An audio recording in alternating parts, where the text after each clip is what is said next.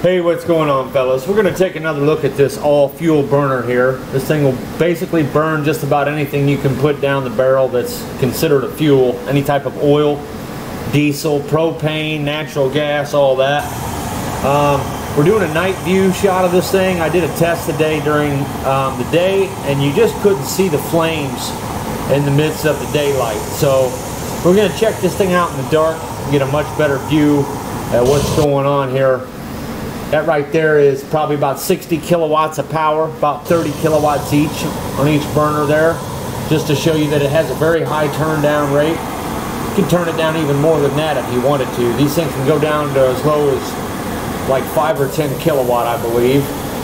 This here is about 250 kilowatt with some extremely high air input. They're both running pretty red hot there. And that is, yeah, about 0.5 so we're looking at 300 kilowatts there almost with um, a very lean burn. This right here is a very rich burn.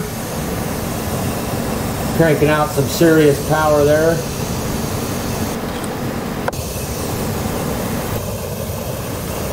That's about 720 kilowatts. I have to lift the fuel tank up higher to get more of it to go out, or you would need a fuel pump, one or the other.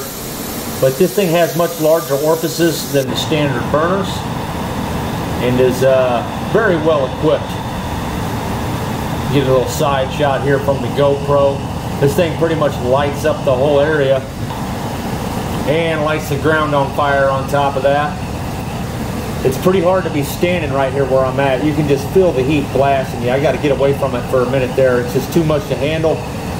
But uh, there you go, Ben. Let me know what you think, brother. This thing's definitely capable of uh, drying some serious stuff. We do have other formats we can work with, but this is what I have ready right now. And the 500 kilowatts is just one of these single burners. So let me know what you guys think.